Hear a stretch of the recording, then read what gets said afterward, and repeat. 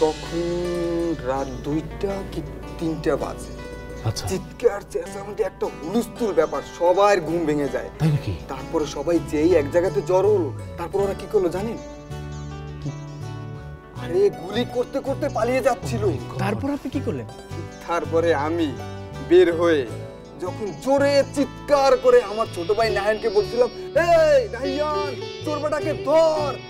আর আমিও কি করলাম? একজনকে পাইয়া এইরকম করে ধরে এই, এই কি হচ্ছে কি এখানে? হ্যাঁ? গুড মর্নিং স্যার এটা অফিস নাকি চায়ের দোকান? কাজকর্ম সব ফেলে আড্ডা জমিয়ে বসেছেন? ব্যাপারটা কি? স্যার আপনাকে খুব অসুস্থ লাগছে প্লিজ রুমে গিয়ে তেমন আমাকে কোথায় যেতে হবে সেটাও আপনি বলে দেবেন।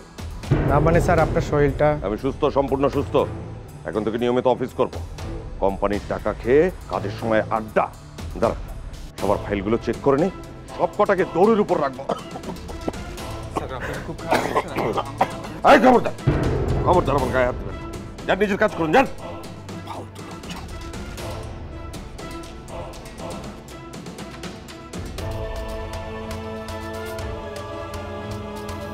কাশতে কাশতে গলার বারোটা গলায় ফেলেছে। তারপরে ধমক কম। একদম ঠিক বলেছেন। আট বছরে সব বদলে গেল শুধুমাত্র এই সাদিক স্যার ছাড়া।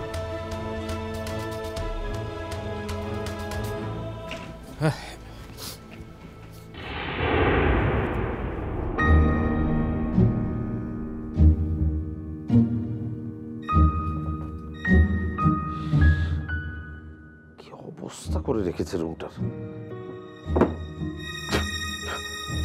আমার ছেলে যেন রুমে গরু ছাগল ঢুকে পড়েছে।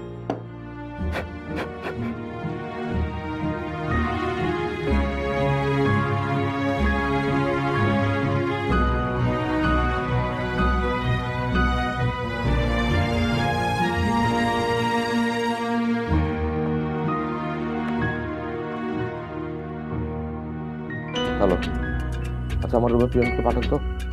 এক্ষুনি।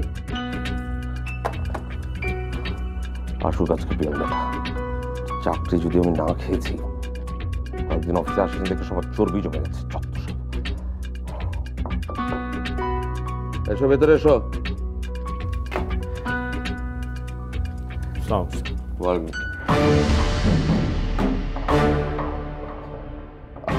আপনি?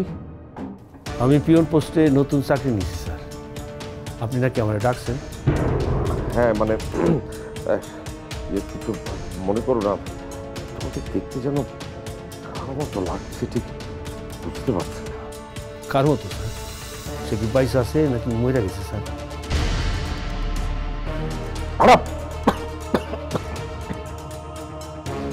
আপনার তো কাশির অবস্থা খুব খারাপ। আপনি ডাক্তার দেখেন স্যার। এই কথা কম। তুমি এখানে জয়েন করেছ কবে? এ বয়সে তোমাকে চাকরিতে নিয়ে থাকে।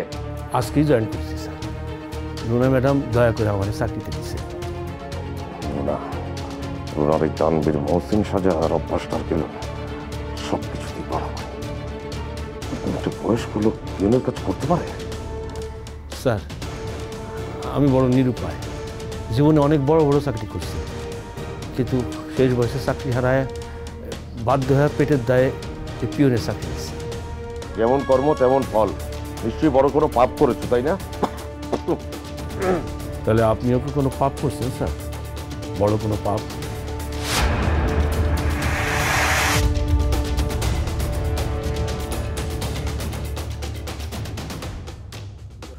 না মানে অফিসের সবাই কইতেছিল আপনি নাকি মেলা দিন ধরে অসুস্থ তাই আর কি। তবে তুমি কথা অনেক বেশি বলো। যাও তো তুমি যাও এখান থেকে পরে এসো যাও।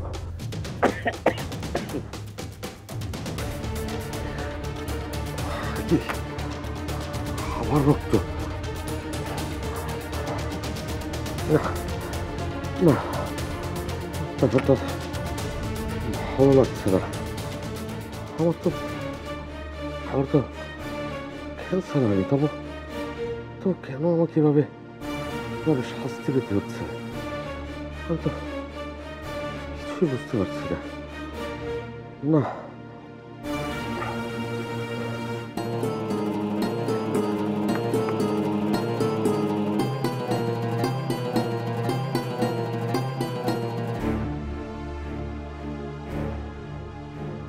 হ্যালো।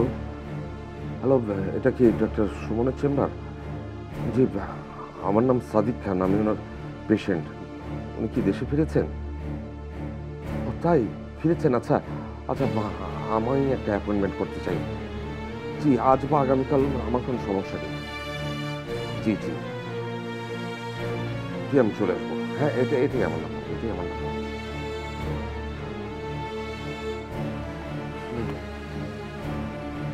তোমার কথাটাই শোনা দরকার ছিল।